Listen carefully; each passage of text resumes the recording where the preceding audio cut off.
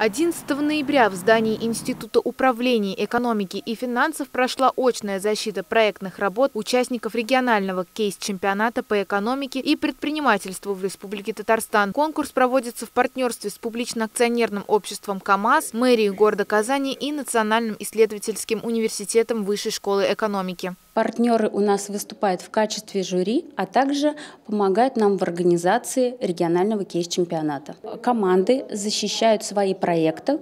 Проекты они выполняли по кейсам и по питчам.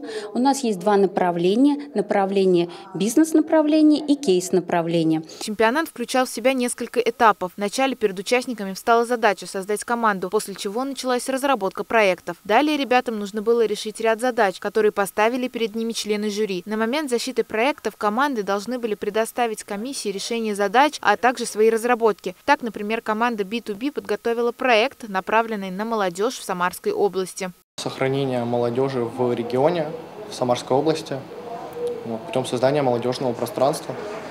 Который занимается профориентацией и развивает в основном софт-скиллы, готовят а, специалистов будущего.